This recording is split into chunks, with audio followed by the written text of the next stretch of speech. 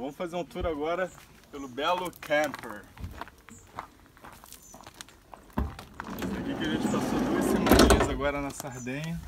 Irado. Então aqui em cima, ó. Cheguei. Tem dois andares, ali a gente botou as malas, aqui em cima a gente dormiu. Um pouquinho apertado, mas super de boa. Ali em cima você abre, ó. Boy, tem três. Ah, é, dá uma Uma aqui. Tem luzes, né, em todos os lugares. Facilita bastante também. Ó. Aqui tem outro. Aqui tem um banheiro, lugar predileto do time. Aqui é o cagodromo oficial. Não utilizamos para número 2, mas número 1 um funciona bem. E tem as pílulas mágicas ali que dissolvem até. Tem chuveirinho. É, tem chuveirinho ali também.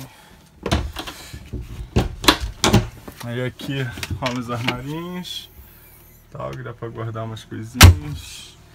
Aqui embaixo também, armário. Aqui tem uma geladeirinha mini, mas até que deu pra segurar numa boa. Aqui a gente encheu de água agora, mas antes tinha É. queijinho, salada e tal. Aqui outro, dá pra também.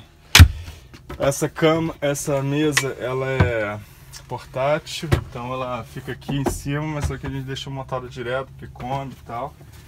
Essa cadeira aqui irada, ela vira, Ah, é. a Então, do carona, isso- muito boa. isso faz uma. Tipo uma mesinha, um ambiente. É bom porque aqui é tão apertado que eu acabava comendo sentando aqui e eu sentava aqui. Isso.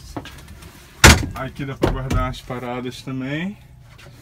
E aqui embaixo, né? Não sei se mostrou. Ai. Dava pra guardar outras coisas. Aqui, ó. Tal, a gente estocava água, essas paradas assim. E tem um troço aí no meio, uma madeira ali no meio, que fecha pro outro lado.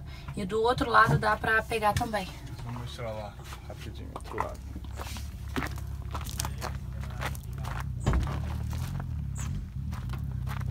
Aqui. Né, dá pra lá, aqui tem uma cortininha que você pode esconder as paradas. Aí tem aqui um fogãozinho portátil, mesa, quatro cadeiras. Então fica tudo estocadinho aqui. Aqui tem um chuveirinho também para voltar da praia.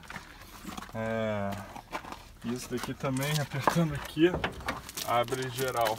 Que é legal também para algumas situações. Pô, essa casinha foi top. Isso aí, irado, né?